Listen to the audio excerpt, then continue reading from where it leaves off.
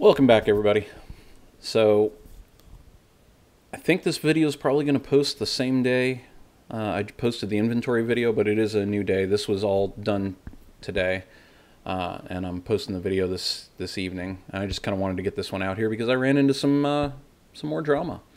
So I've got both my spars out, and very first thing I'm doing is marking down uh, which one's going to be left, right, top, bottom, inboard, outboard. And at this point, I didn't realize, and I was on the phone with some expert advice there from Chris for some unrelated stuff to those spar markings, but uh, didn't realize at that point that there is definitively a left and right spar. I didn't really think about it, and they appear to be identical, but there are some subtle differences, and that's going to come to play here in a little bit. But I knew which side was forward, uh, which side had to be top and bottom. So I got it all marked out. So now the first thing you have to do is a whole lot of countersinking. Uh, initially just for the fuel tanks, but then there's other nut plates for inspection covers, and then every one of those other holes is going to get countersunk for either a rivet that's going to sit flush in there that holds a nut plate or slightly below flush so that the skin can fit over it. So I have decided that I would prefer to do all of that all at once. I don't want to try and do it while the spar is mounted horizontally with a hand drill. I have a drill press. I wanted to try and figure out a way to use it. I had this idea a while back of putting it between my benches like I do the the uh, dimpling frame.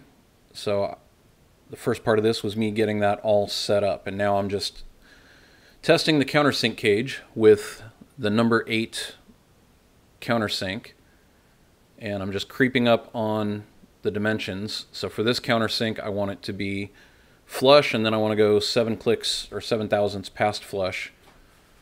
That way it sits, uh, when the skin's in there, it sits down nicely. And I had a skin coupon to test it with to make sure I had it right.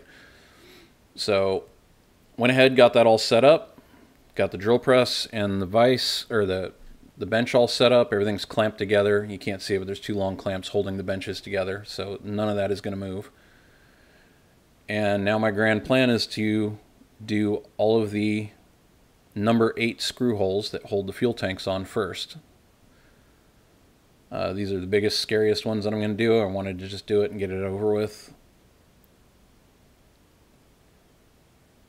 And it went surprisingly quick. I think I timed it. It took me about seven minutes to do both sides.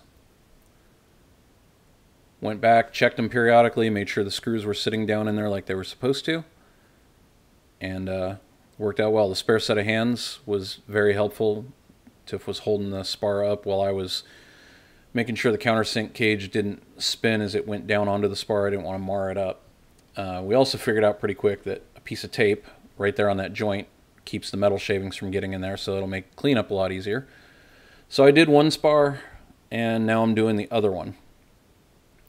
Again, these are just the number 8 holes right now, but uh, as Chris said, and you saw me referencing his videos a few times, and I appreciate the shout out today, uh, there's like 1,100 holes that need to be countersunk in that spar. So there's a live action shot of me actually doing the work.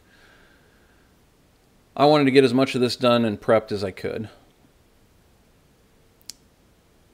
So we got them done.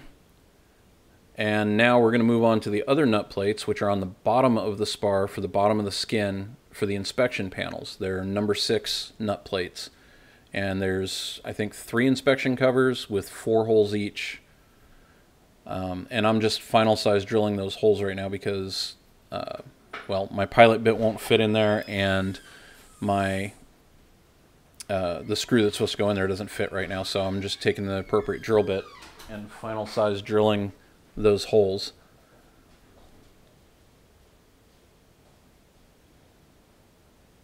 So everything's prepped and ready to go.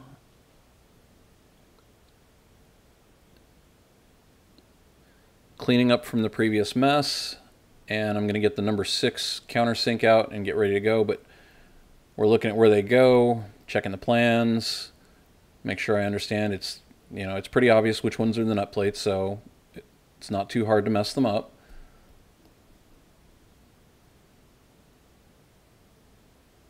And uh, we're going to make a discovery here in a second.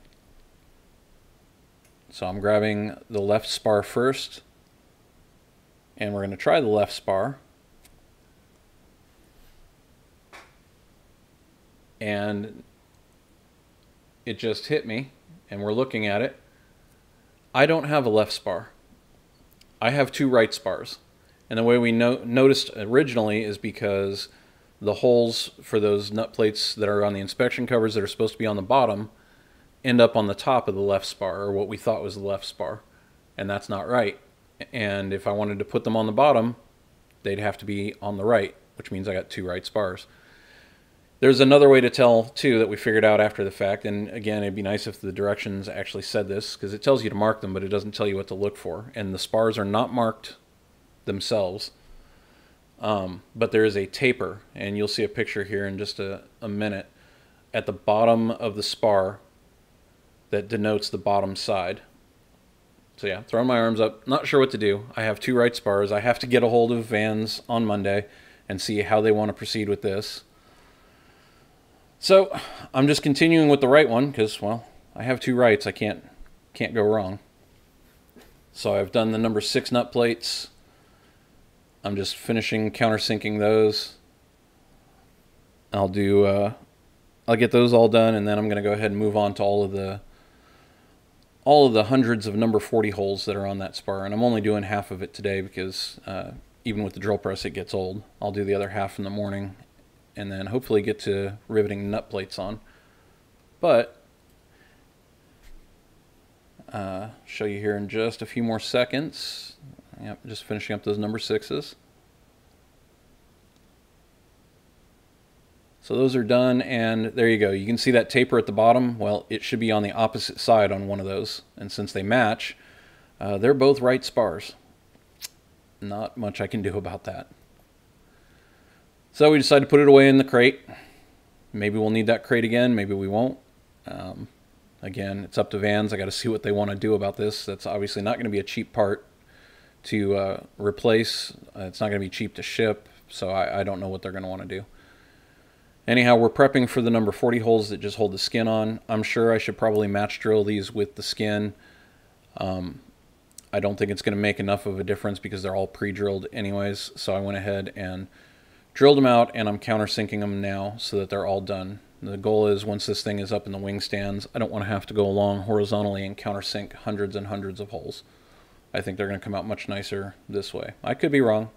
At this point, I have a spare spar if I'm not right. So uh, this took much, much longer because there's a lot more holes. I trimmed a lot of it out for you. But you'll see here in the end, and I ended up missing two of the middle ones that I went back and got, but you'll see it in this final picture. But yeah, uh, progress is underway on the uh, wings, albeit the right wing only because I'm missing key parts for the left one now. Anyways, there's going to be one last shot showing what they all kind of look like down the spar. And then hopefully I'll get one more video out tomorrow before I go showing nut plates getting put on. But there you go. Leave the questions below and I'll see you on the next one.